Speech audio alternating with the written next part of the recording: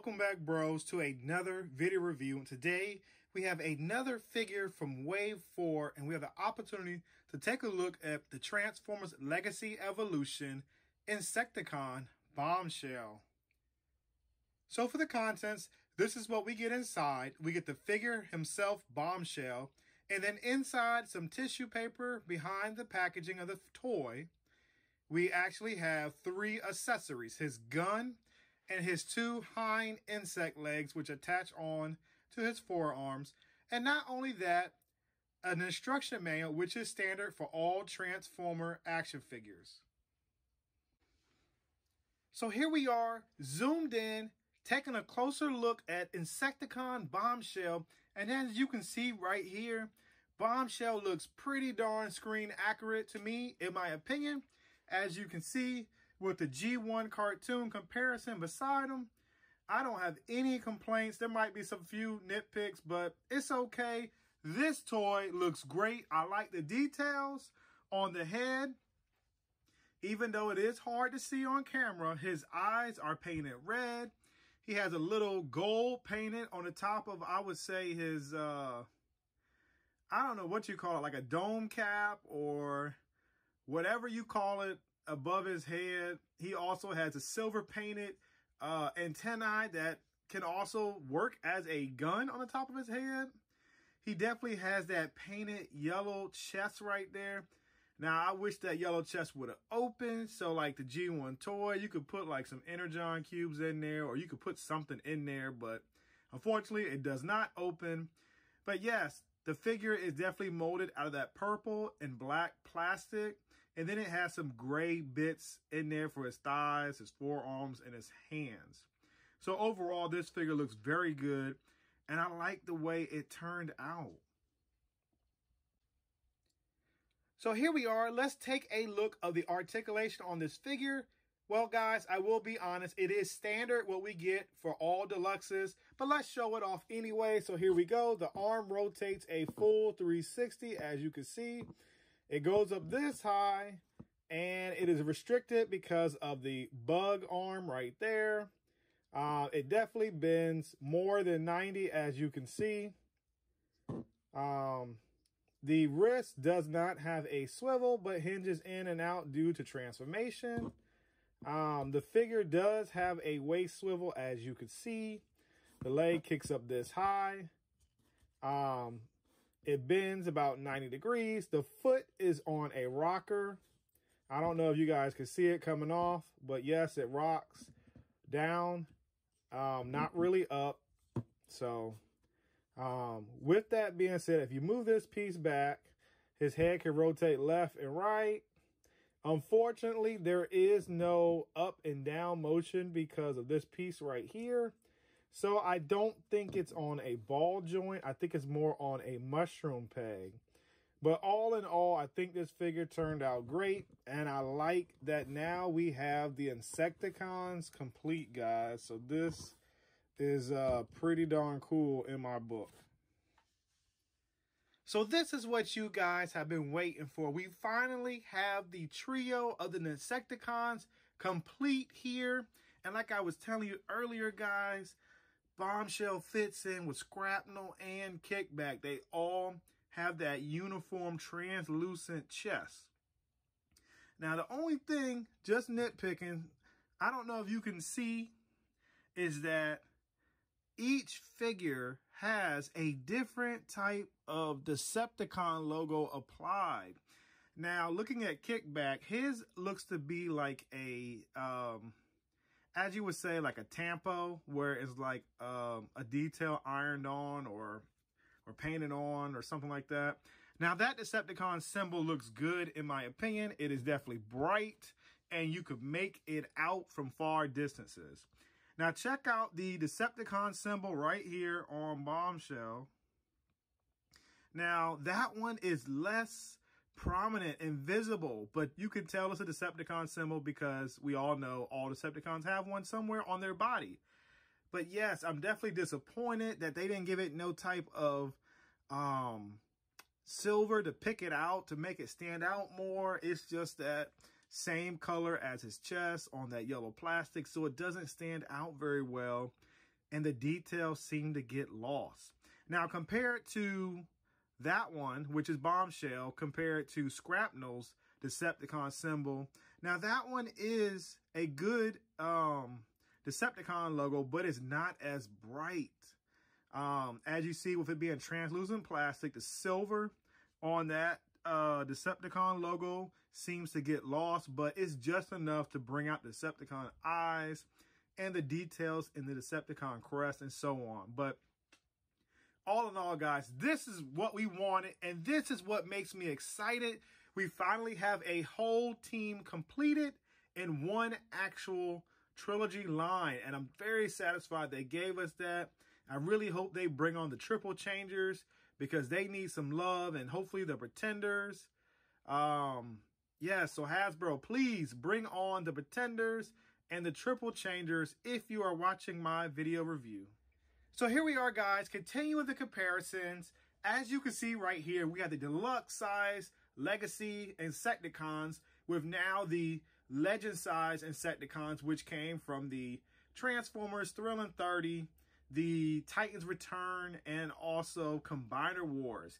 As you see, the smaller size Insecticons do not compare to the now big deluxe size Decepticons because the deluxe size have the more accurate deco and definitely resemble more of the cartoon than the previous um, molds that we got in the Legend Size class line.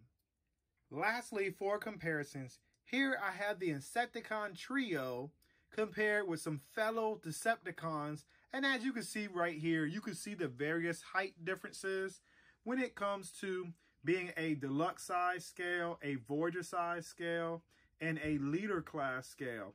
Now, as you already know, Blitzwing is a leader class figure, but I feel like Blitzwing needs to be redone even as an as this figure is very impressive and works well.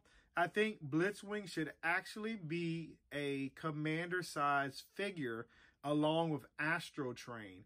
Because be honest, with these figures being triple changers and and and actually the Decepticons uh, in a few episodes boarded Blitzwing and also Astrotrain to go on various missions where it required them to be transported to the location.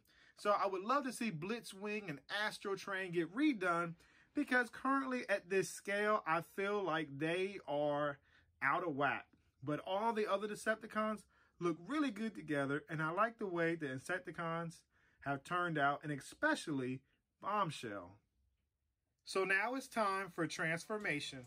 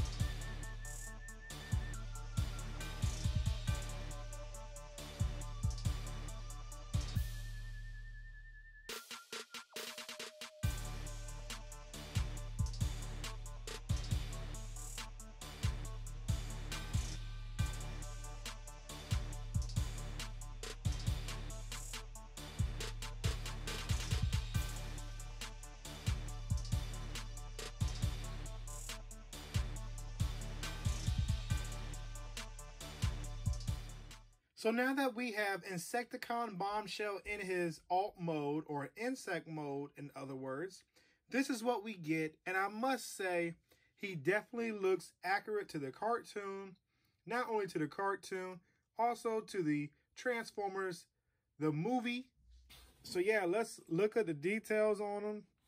As I was telling you guys earlier, I'm sorry, there is a silver outlining on his Decepticon logo after all, now that I'm looking at it in a light a certain way. Even though I said earlier there was not, I guess it wasn't very visible. because of my lighting, but yes, they had the painted on details right here on the hind um, back of the Insecticon. Then they have this part right here painted. Looks good. That's gold. The eyes are yellow. And then we have a nice silver painted on the silver bit. So yes, it definitely looks good. And I like the way it turned out. So to jumpstart the comparisons, here I have Insecticon Bombshell with Insecticon Scrapnel and Insecticon Kickback. And each uh, Insecticon does hold their accessories and does have accessory storage. So I definitely like that. I like how all three look together. They're definitely a team, so they should look like they're a team. They definitely look good, in my opinion, and I am thoroughly satisfied with the way these Insecticons came out, and especially how Bombshell turned out.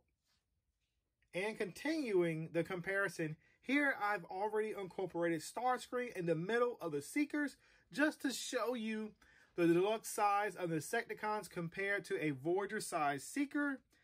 And the Seeker definitely looks good compared to the Insecticon, but I would prefer it a little bigger than these Insecticons. But all in all, let's compare them like this. Here we have Starscream standing up. And then here we have the Insecticon.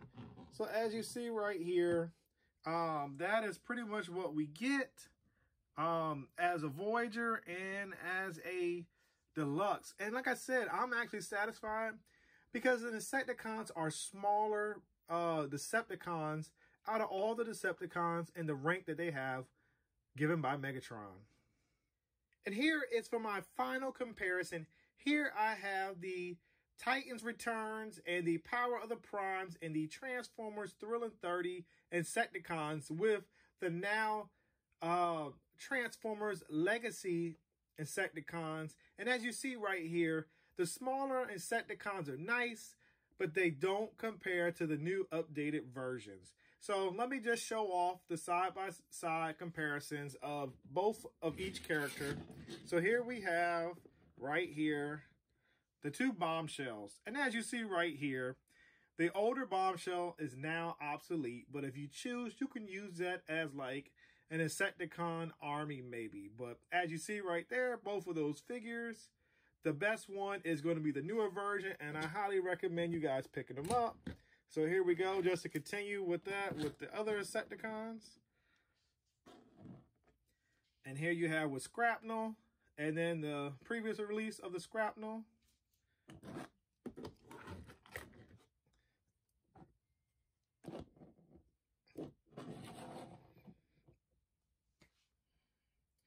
So yes, as you see guys, the newer versions are definitely the better ones. So if you have those or want to get the best one, definitely go out and get the newer Legacy, Evolution, and Legacy uh, Insecticons. So now we have reached the portion of my review where I like to talk about the Bro figure grading system and basically let you know if this is going to be a pickup or a pass.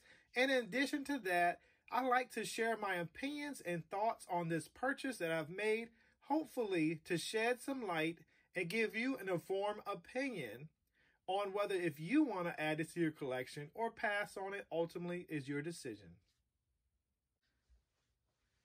So to be honest, guys, for me, this is going to be a pickup because for one, it completes the Insecticon trio and Hasbro has done an excellent job of keeping all of the trio of the Insecticons the same color paint palette scheme.